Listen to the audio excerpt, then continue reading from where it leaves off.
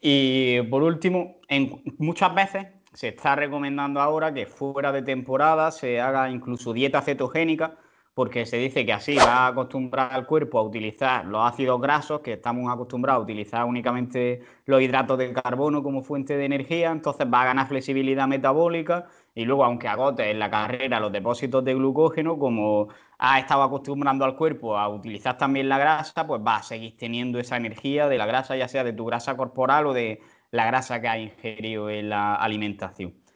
¿Qué te parecen estos protocolos a ti? Sinceramente no me gusta. Ah, no soy partidario de la dieta cetogénica como aumento del rendimiento deportivo, ¿vale? Y yo creo que aquí existe un error, ¿vale? Que es como eh, pensar que una mayor oxidación de grasa se traduce en mayor aumento del rendimiento deportivo. Ah, y esto no es real. Ah, eh, aquí hay una frase de, John Howley, no sé si, lo conoces, ¿vale? Que él dice que ninguna medalla de oro se ha ganado por tener la mayor tasa de oxidación de grasa. O sea, ¿qué quiere decir esto, no? Que es como eh, tener una mayor cantidad de oxidación de grasa no quiere decir que tú vayas a correr más. Ah, eh, yo creo que al final la, dieta cetogénica está claro que aumenta la oxidación de grasa, pero porque si me tengo que quedar eh, con algo, creo que al final el cuerpo es completamente eficaz. si yo le doy únicamente un sustrato energético, está claro que va a hacer lo que sea como para utilizar ese sustrato de energía y utilizarlo, o sea, como fuente de energía porque no dispone de otro. ¿Qué pasa? Cuando yo realizo una eh, dieta cetogénica, eh, ¿mejoro la oxidación de grasas? Sí, pero estoy empeorando la oxidación de hidrato de carbono. ¿vale? Ah, una dieta cetogénica, lo que son la vía de, obtención de energía por, por, las grasas, la mejora, pero como te he dicho, el cuerpo es eficiente. Entonces se focaliza a poder utilizar la grasa como fuente de energía. Y lo que hace es reducir la cantidad de eh, energía que podría obtener, no la cantidad, sino la velocidad a la que obtendría energía desde los hidratos de carbono. Pues mucha gente que defiende esta dieta cetogénica lo que dice es utilizar la dieta cetogénica y en el momento que vayan a competir hacer una recarga de hidrato de carbono, entonces tenemos los dos eh, tipos de nutrientes y los podríamos utilizar. ¿Cuál es el problema? O sea, se ha empeorado esa vía por la que se obtiene energía desde los hidratos de carbono. entonces, no se puede obtener de la misma, a la misma velocidad esa energía. Entonces, eh, hemos empeorado algo, ¿no? ¿existe algo que mejore las dos vías? Sí. ¿Cómo se llama? Entrenamiento. Ah, eh, al final, eh, entrenar produce mejora de las dos vías. un deportista de resistencia nunca produce, o sea, o nunca entrena de la misma forma durante toda la semana. Es como si yo salgo 60 minutos a correr al mismo ritmo durante 7 días a la semana, bueno, vale, no estoy mejorando absolutamente nada, ¿no? Entonces, estos deportistas que tienen, pues tienen días de tiradas más largas, o sea, días de que hacen series cortas en el que meten mucha intensidad. Entonces, con ese tipo de entrenamiento lo que están haciendo es mejorar las diferentes vías. O sea, ¿qué pienso yo? Que si llegan con una cantidad de energía suficiente como para poder entrenar como una puta bestia en todos los entrenamientos, realmente están mejorando esas vías. ¿no? Y se está produciendo flexibilidad metabólica por el propio entrenamiento. Eh, entonces, eh, realizar este tipo de protocolos como aumento del rendimiento, sinceramente no soy partidario. Eh, incluso a día de hoy se ha puesto un poco eh, también de moda lo de entrenar con baja disponibilidad de hidrato de carbono. pero ¿qué pasa? El deportista de resistencia, ya te digo cuando hablamos de volúmenes altos, muchas veces doblan de forma diaria. Entonces, ¿Son capaces de entrenar con la misma cantidad de hidrato de carbono o de glucógeno muscular en el primer entrenamiento y en el segundo? No, no se recupera eh, el, glucógeno muscular de forma completa.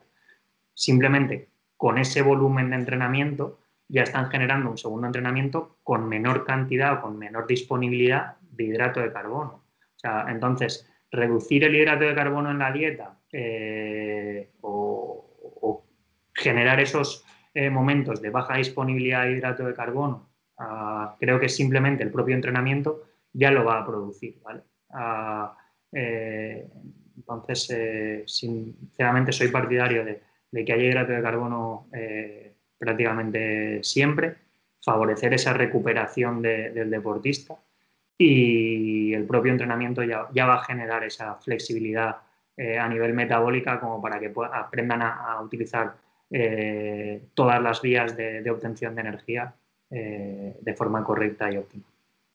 Claro, de cara al alto rendimiento, al final no parece que vaya a tener muchos beneficios y menos ahora mismo que, como dices, si se te agotan los depósitos de glucógeno, puedes meterte estos geles o bebidas que tengan ya hidratos de carbono que van a solucionar ese problema. Entonces no tiene mucho sentido tampoco centrarse excesivamente en mejorar estas vías metabólicas diferentes. Pero puede que a nivel de pérdida de grasa fuera de temporada, lo que dices, sí pueda tener algún beneficio hacer una etapa de dieta cetogénica, simplemente porque a lo mejor le cause más adherencia al atleta que una dieta con más hidratos de carbono, aunque lo dudo mucho si casi todo el año está consumiendo hidratos de carbono.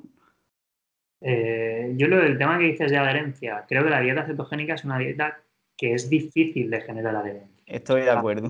Más que nada porque eh, lo que es simplemente la socialización, eh, prácticamente no puedes hacerlo. ¿no? O sea, tú no puedes salir a, comer o cenar por ahí eh, haciendo una dieta cetogénica.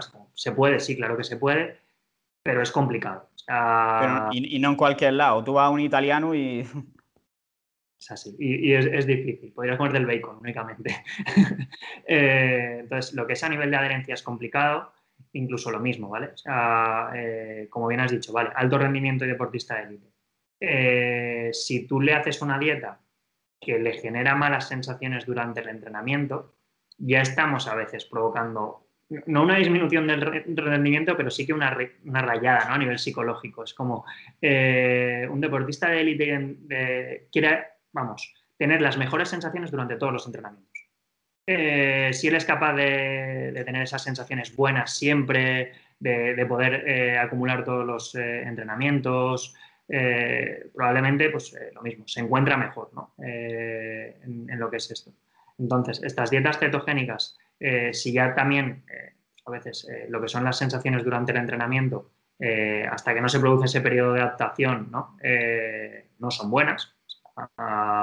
Eh, no son unas sensaciones buenas y digo que un deportista de élite no se puede permitir eh, fallar en, muchos entrenamientos. Entonces, eh, también dejaría a veces de, confiar en ti si se lo tienes que explicar mucho o tendrías que explicárselo mucho como para que pudiera tener esa paciencia ¿no? como para permitir que, pudiera darse esa adaptación a una dieta cetogénica.